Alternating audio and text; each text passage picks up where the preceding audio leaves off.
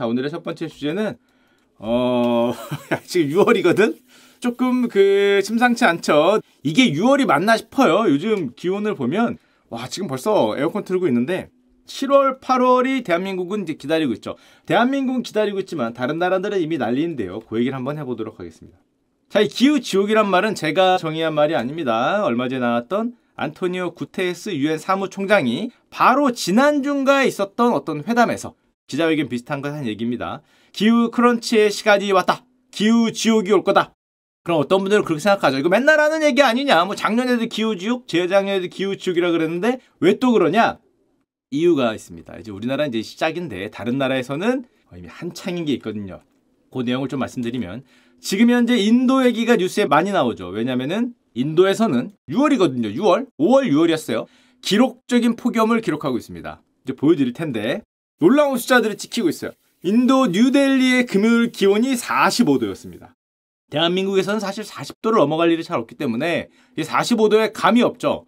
그래서 가끔 정말 대한민국에도 가끔 45도는 아니지 38도 38도 정도 45도는 대구 정도 되면 45도일려나 이거 모르겠는데 30도 중반만 돼도 그 밖에 나가면은 뜨거운 떼학볕 아래서 사람이 견디기 힘들다는 걸 알 수 있는데 45도면은 느낌이 어떨지 한번 상상을 해보시고요. 게다가 뉴델리 대도시가 45도였는데 조금만 안쪽으로 들어가면 50도씨 얘기가 나오고 있습니다. 야, 50도는 너무한 거 아니냐? 50도면은 사람이 못 살 수도 있을 정도의 기온이라고 보시면 됩니다. 그러니까 밖에서는 못 사는 거죠. 안에 있어야 되는. 24일 동안 폭염이 이어지고 있다고 하는데 인도에서는 일부 도시에서는 45에서 50도 얘기가 나오고 있어요. 게다가 이거는 오류인지 아닌지 지금 굉장히 인도에서도 설왕설래하는 주제가 있는데 그게 뭐냐? 델리의 한 지역에서 관측소가 있잖아요. 그 관측소 온도계가 52.9도가 찍혔어요. 와, 이거는 센서 오작동인지를 좀 조사를 하고 있는데 52.9도는 이 정도 온도는 사람이 살지 못하는 지역이라고 보시면 됩니다. 53도는 야 사하라 사막 한가운데가 이 정도 되지 않을까? 그래서 지금 인도 전문가들은 야 말이 안 된다. 이거 센서 오작동인지를 조사하겠다라고 얘기하고 있고 근데 문제는 그 근처의 센서들이 한 개만 50도가 아니라 옆에 있는 세 개의 관측소에서 동시에 섭씨 50도가 관측되었습니다. 그 중에 하나가 52.3? 뭐 이렇다는 거죠. 그리고 이게 말이 안 되는 게 이 그 부근 지역의 과거 최고 기온이 거의 80년 전에 있었던 46.7도래요. 그래서 관측소 고장 얘기가 나오고 있습니다. 46.7도인데 한 번에 3도, 4도가 올라가는 게 말이 되냐? 아무리 덥다 그래도 실제로 담당자가 나와서 얘기했는데 이렇게 얘기를 했습니다. 공식적인 값 아니다. 50.3도. 오피셜은 아니고 델리 부근이거든요. 델리의 52.3도는 가능성이 없을 것 같다. 옛날에 46도, 47도 그랬는데 아마 고장 고장을 원하고 있는지 고장인지 모르겠지만 곧 공식적인 입장을 낼 예정이라 그랬는데 아직은 오피셜은 아닌 상황이고 자 근데 이렇게 덥다 보니까 지금 현재 인도의 델리는 물 부족 위기 현재 그 제한 급수 중입니다. 물을 너무 쓰니까 제한 급수 물차 와서 이렇게 주는 거 그리고 강이 말라버렸죠. 굉장히 힘들다라는 내용들이 많이 나오고 있습니다. 물이 굉장히 부족하고 날씨가 워낙 더우니까 또 부족한 게 생기니 바로 전력입니다. 우리나라도 가끔 여름 더우면 블랙아웃 오잖아요. 전력 수요가 지금 인도 같은 경우에 사상 최고치를 기록했다. 델리의 전력 수요도 과거 최대치를 훌쩍 뛰어넘는 8,302메가와트라고 하니까 역시 사상 최고치를 기록했고 만약에 이걸 많이 넘어가면 여기도 블랙아웃 올 수 있죠. 인도는 지금 비상 그 자체라고 할 수 있습니다. 그럼 인도만 그러냐? 중국은 현재 역대급 더위에 대비 중이에요. 여기는 왜냐하면 여기 7월, 8월에 안 왔잖아. 여기 우리랑 똑같거든요. 우리랑 똑같잖아. 아직 7, 8월에 안 왔거든. 근데 6월만 봐서도 야 잠깐만 잠깐만 야 이거 심상치 않다라는 거를 몸으로 느끼고 있습니다. 이미 6월인데 일부 지역에서 사상 최고 기온들이 등장을 하고 있고요. 허베이와 허난성 일부에서 기온이 6월인데 44도. 7곳의 기상관측소가 6월 최고 기온을 이미 넘었고요. 게다가 우리나라 언론에 이게 많이 나왔는데 산시성의 일부 지표면에서 70도 여기가 나왔습니다. 지표면 그러니까 모래가 뜨겁게 달구어져 70도가 되더라. 70도면 이거 뭐 석탄 위로 걷는 거기 때문에 뭐 일부겠지 일부. 그래서 지표면 온도가 지금 70도까지 올라갈 수 있다라는 얘기가 나와서 중국은 지금 대비 그 자체고요. 여러 나라를 보여드릴 텐데 필리핀 필리핀은 현재 체감 기온 50도가 나왔습니다. 무슨 오자가 자꾸 보이죠? 체감 기온이긴 한데 50도를 기록했고 우리는 지금 52도씨를 목격하고 있다. 인도하고 똑같은데 기온 상승으로 필리핀에선 지금 수만 곳의 학교가 폐쇄되었고 전력도 당연히 압박을 받고 있고 수많은 사람들의 생명이 위협받고 있고 작물 생산량도 당연히 큰 피해를 입고 있고 필리핀이 얼마나 큰 피해를 입고 있느냐면 이걸 보시면 알 수 있는데 필리핀의 가톨릭 국가죠. 필리핀의 사제 신부님들이 비를 위한 기도문을 발표하셨습니다.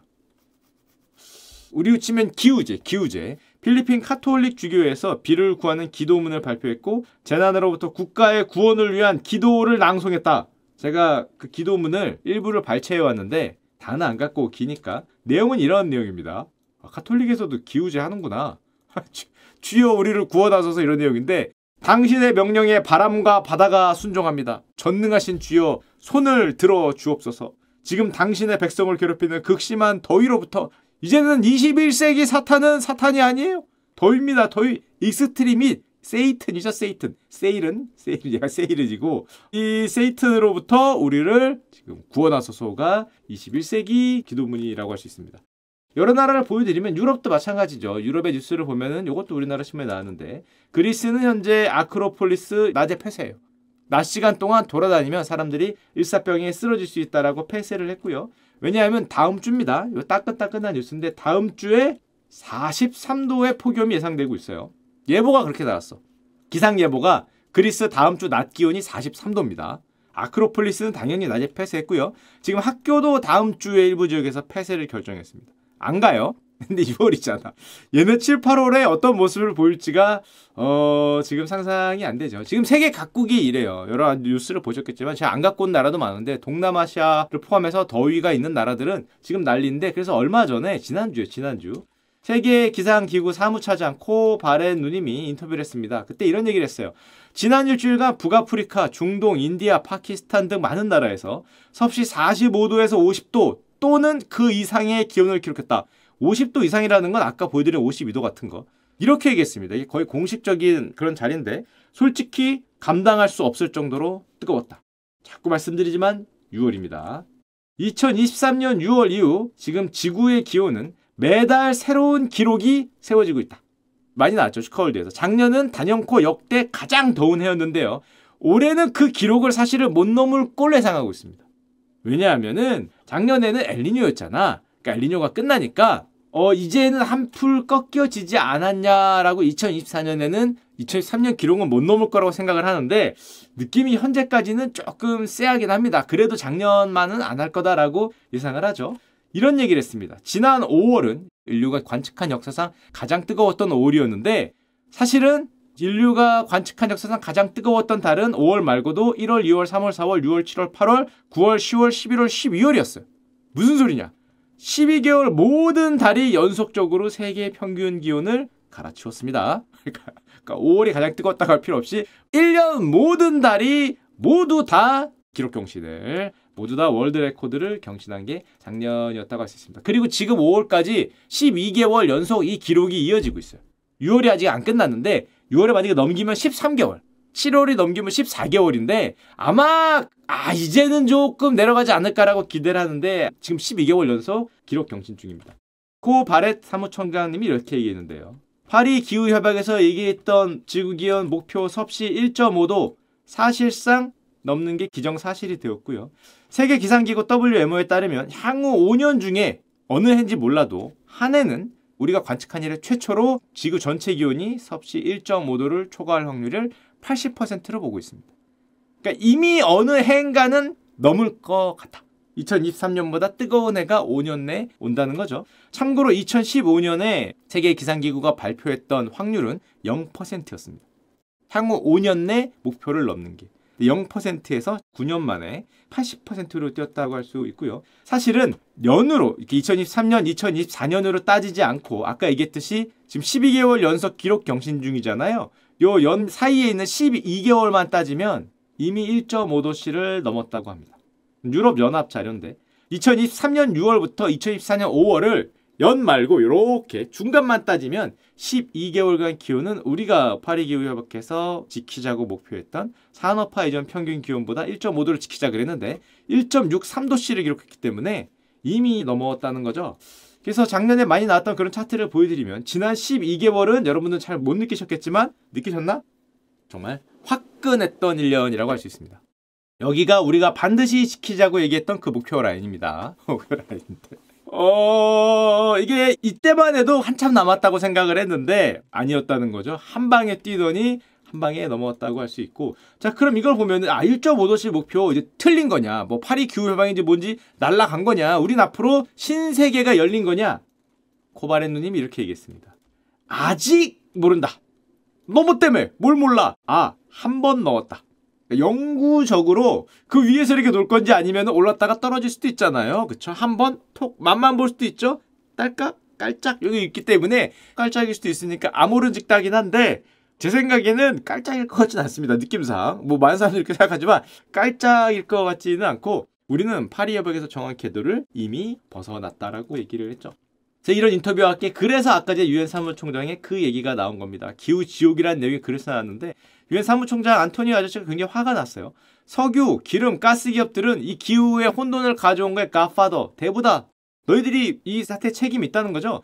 담배 기업들의 광고가 사람들의 건강에 해로워서 금지된 것처럼 이제는 화석 연료 기업들의 광고도 영원히 금지시켜야 된다.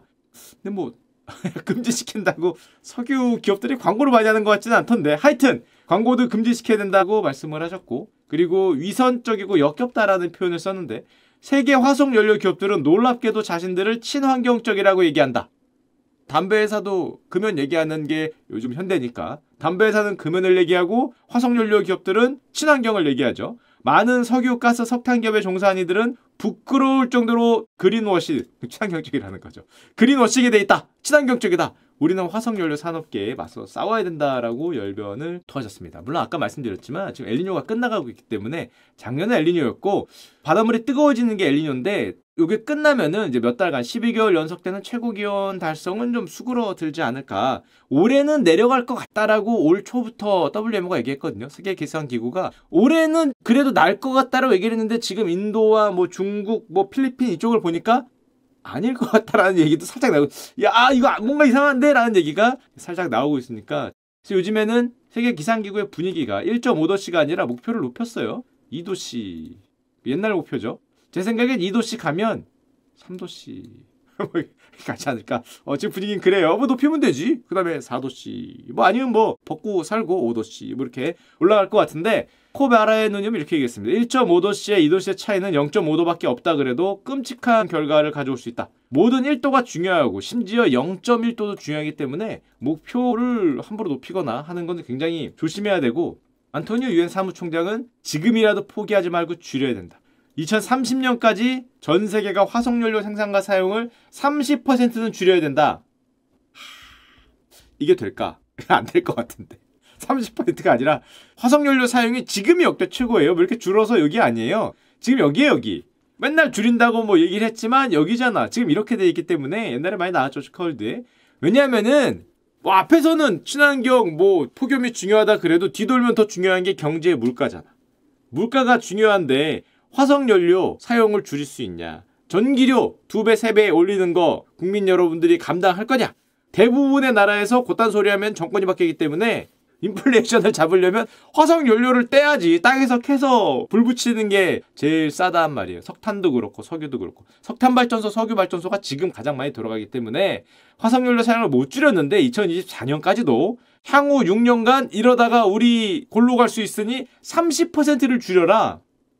정말 혁신적인 기술의 발전이 있지 않으면 기술 발전 있지 않으면 제 생각에는 3%는 줄일 수 있을까? 그때도 그때가 최고점일 것 같은데 왠지 느낌상은 뭐 전쟁 하나 터지면 또 뭐 뗄 거 아니요. 근데 요즘에 보면은 군비 경제하고 하는 꼴을 보니까 어, 이게 평화의 시대여도 쉽지 않아 보이는데 뒤집을 수 있는 시간이 얼마 남지 않았다라고 얘기를 했습니다. 포기하지 말고 줄여야 되고 우리는 이 기후 지역에서 출구 램프가 필요하다. 1.5도씨를 위한 싸움 지금 깔짝 넘었는데 영구적으로 넘지 않기 위해서는 2020년대 결판이 날 거라 그러니까 5년 남았다라고 얘기하는 건데 아, 5년 15년도 아니고 20년도 아니고 30년도 아닌 5년 내로 뭔가를 해야 된다라고 얘기를 했습니다. 자 기후변화가 드디어 목표가 5년까지 줄었다고 할 수 있고 그렇게 폭염이 오면은 더위만 더운 거냐? 아니죠. 식량 가격과 물 부족 또 전력 부족에 큰 영향을 미칠 걸 예상을 하고 있습니다. 식량 가격이 올라간다는 말은 인플레이션이 올라간다는 말이고 인플레이션이 올라간다는 말은 국민들의 생활이 어려우니까 화석연료를 더 떼야 된다는 소리고 화석연료를 더 떼면은 기온이 더 올라가고 그럼 식량 가격이 더 올라가고 그럼 화석연료를 더 떼야 되고 뭐 이렇게 되는 거죠. 자 그렇기 때문에 어, 쉽지 않다 쉽지 않다. 이거를 한 2, 3년 전부터 나온 표현인데 heat 인플레이션이라고 합니다. 새로 등장한 표현이 조어에 가까운데 식량 가격 상승, 전력 부족, 원자재 가격 상승, 폭염으로 인한 가파른 식량 가격 상승을 의미한다. 이것도 역시 세계 기상기구에서 갖고 온 건데 폭염 인플레이션이 존재한다는 사실 의심의 여지가 없다. 기후 변화는 앞으로 매년 1%에서 3%씩 식량 가격의 상승을 만들어낼 것이다. 3%씩 오르면 이거는 hell이죠, hell. 5%면은 15%가 올라간다는 거잖아요. 식량 가격 상승만으로. 근데 여기에 추가적인 인플레이션 요인이 있거나 하면은 5년에 뭐 이게 20% 30% 뛴다는 말과 똑같기 때문에 식량 가격에서 이제 굉장히 큰 어려움을 올 수가 있죠. 그리고 이거는 비단 다른 나라만의 문제가 아닌 게 지금 서울 6월인데 33도 폭염주의보입니다. 다음 주에요. 다음 주에 33도야. 야 이거는 아 옛날에 그랬나? 옛날에 기억이 안 나는데 2000년대 언제 굉장히 더운 때가 한 번 있었거든요. 거의 십몇 년 전에. 그때 6월 날씨는 기억이 안 나는데 오, 다음 주에 33도 아직 6월 중순인데. 경남 의령 36.9도, 광주 36.2도. 아, 지역 기온 최고 기록을 경신할 걸로 보이고요. 만약에 7월, 8월로 가면은 이거 몇 도가 되는 거야. 정말 남 얘기가 아니라고 할 수 있죠. 그리고 이건 우리나라만의 얘기가 아닙니다. 지금 미국에서는 다음 주에 1억 명 이상이 폭염의 위험을 느낄 거다라는 얘기가 나오고 있어요. 근데 다음 주는 여기도 마찬가지지만 6월이 중순이잖아.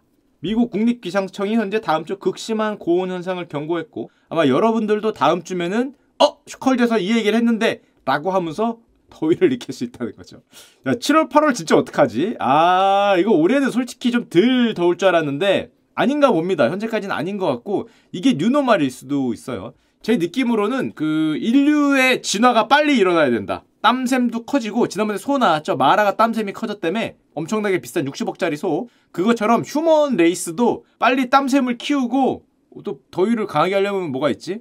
아, 뭐, 뭐가 있지? 몸에 털도 좀 나고, 그쵸? 이 더위를 막아야 될거 아니야. 털도 좀 나고, 피부도 까부잡잡하게 되고, 빠른 진화만이 살 길이다. 빠른 진화만. 환경 변화에 진화를 해야지. 곤충이나 뭐 그런 것만 진화하는 게 아니니까. 미생물만 진화하는 거 아니죠? 휴먼도 이제 진화가 필요한 시대가 빠르게 다가오고 있습니다. 아마 다음 주부터 시작될 것 같은데 아마 올해 여름에는 이 주제로 한두 번 더 가져오지 않을까 생각을 합니다. 아, 큰일 났죠? 얼마나 더울지 지금 감이 안 오는 그런 시대가 오고 있다고 할 수 있습니다.